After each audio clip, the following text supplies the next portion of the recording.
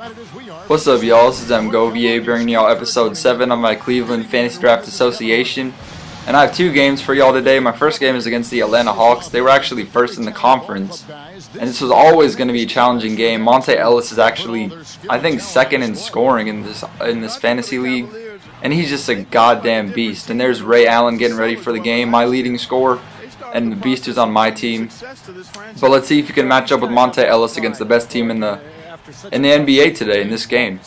So right here, the tip off, we end up getting the tip, and let's just get this thing get this thing underway. So Monta Ellis, this game was honestly putting me to shame with all these.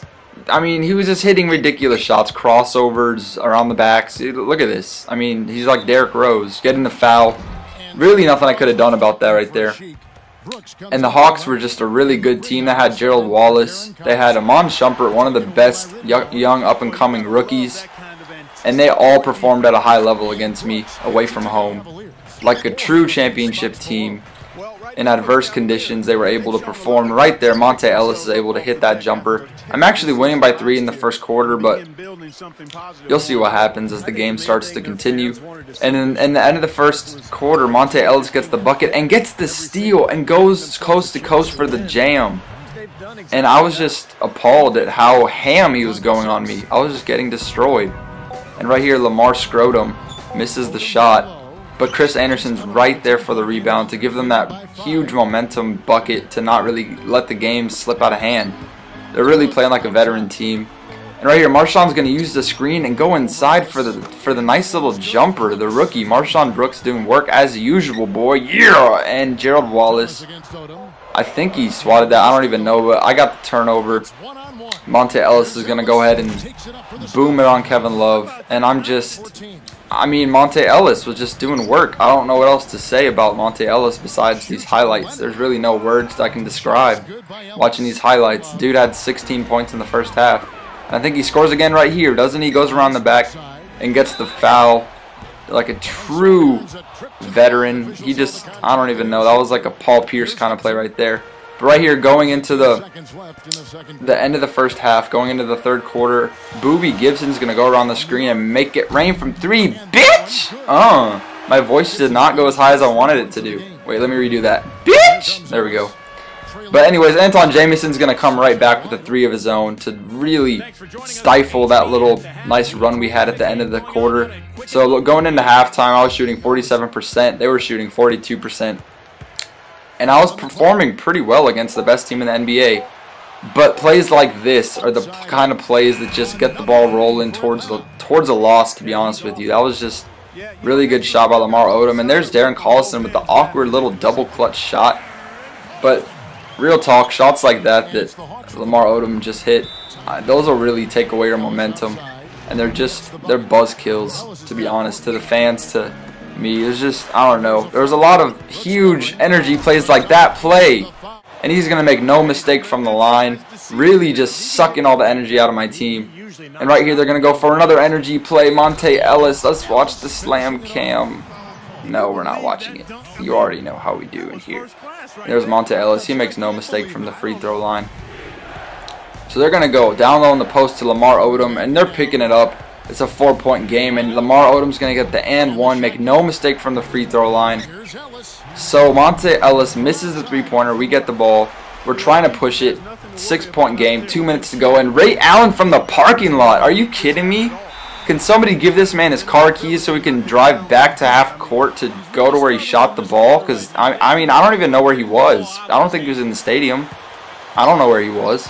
But anyways, Monta Ellis is going to go ahead and miss that jumper, but it doesn't matter because Antawn Jamison's there to clean up the mess. I don't know how many hustle plays we had at the end of this game that really caused us to lose, but they really kind of piled up and our team just gave up at the end. Really a, a sad effort, just depressing. Monta Ellis had 34 points. Nobody could defend him, didn't matter what I did. And when your star player goes 5 for 14 from the field, it's really hard to win.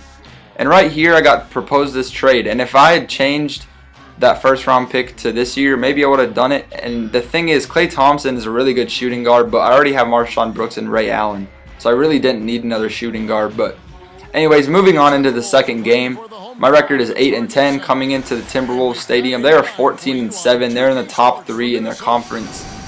So there's my starting lineup. Ray Allen, Kawhi Leonard, Kevin Love, Darren Collison, and the Turkish delight, Omer Asik. And the Minnesota Timberwolves had Stephen Curry and Shannon Brown. That's a pretty good backcourt when you're talking athleticism and three-point shooting. So this is a really daunting task ahead of me playing this really good team. So th these are the last two games in this episode.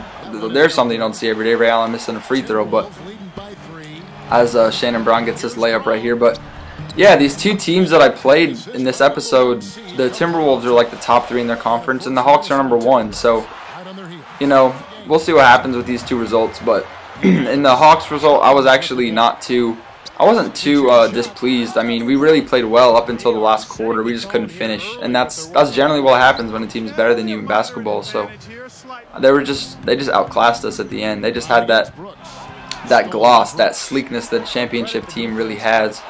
But anyways, Tyrus Thomas making that layup. You know, we're getting there. We're getting there with our team. And Ray Allen's going to step behind the three-point line and make it rain from three, bitch! Ray Allen was making it rain from three like a mug this whole game. Shannon Brown's going to miss that shot. We're going to get the rebound. We're going to give it to Kawhi Leonard. And I think you guys know what's coming. Get dunked on, young fella. With the boom. That is a boom. And one. He makes no mistake from the free throw line. You already know he's not making any mistakes right there. And Kevin Love, right here in the post, going to kick it out to Ray Allen, and he is going to make it splishity splash, uh, Splash Town Mountain, sing that song. I don't even know what else to say about all these shots I'm making. But MarShon Brooks at the end of the second quarter, splash, to give us a four-point lead going into halftime. And he's screaming at the crowd, getting them pumped up. I was honestly pumped up during this game because I was getting all these huge plays going my way. To start off the second half, you got Kevin Love with the hustle offensive rebound putback, and I, I, was feeling good. I'm not gonna lie. I'm not gonna lie to you. I was feeling real good about how I was playing.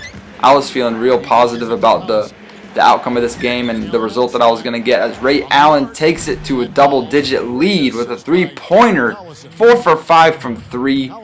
We have a double-digit lead against the third overall team in the NBA and third in the Western Conference and they are just they they're kind of relentless, but at this point we're really dominating them.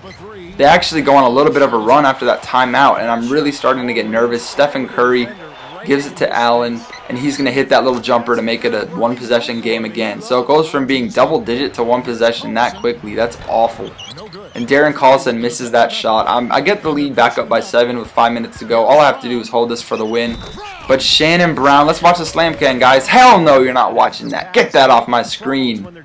But Shannon Brown hit that, give him some momentum. And I, I mean, I was literally throwing the game away. I was having turnovers like I don't like nobody's business. I was missing shots.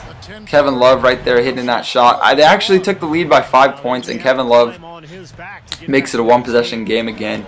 So two minutes to go. I get to steal with Ray Allen. The huge effort play. And he's going to get the hop step layup to make it a one point game. I end up taking the lead. And Stephen Curry takes the lead right back out of my hands. 1 minute and 30 seconds. Please ignore his black hands. Don't know why that's in there. Don't know what that glitch is. Everybody seems to have it, but fuck it. So I give the ball to Luke Ridnour. I'm looking for the lead. Luke Ridnour with the ball. Gives it to Ray Allen. Pump fake dribbles to the dribbles to the right side. He's gonna post him up, and Ray Allen out of the post is too clutch in the fourth quarter. Let's go, Ray Allen. One point game. Cleveland is beating Minnesota. So Shannon Brown right here, calling everyone off, gonna give it to Stephen Curry. Back to Shannon Brown. Shannon Brown wants this shot. He's trying to run down the clock so they can get a shot. I don't know. I feel like he should have shot that ball earlier so that they, if even if I missed my shot, they would have got the ball back and I have to foul. But I don't know. Whatever. He ran down the clock. So they're starting to foul me. And I hit all my free throws and then this happened. This happened. Shannon Brown happened. Amazing happened. I don't know how else to describe this besides amazing. This is just one of those plays that you just have to round of applause and move on. Just there's nothing really to say about that. Shannon Brown hits the three-pointer to send it into overtime. And away from home, that is a huge buzzkill. I thought I had this game won. You know, And in overtime, I was never going to win this game. Yo, away from home, they hit a buzzer beater, descended into overtime. I was having turnover after turnover. They were turned up on defense. They were turned up on offense. On the fast break, you got beautiful ball movement right there to Luol Deng. But anyways, we ended up losing this game. Thanks for watching, y'all. Kind of a depressing episode. But on a positive note, the episode coming up next will be more exciting with the All-Star break. And stay lavish. Peace.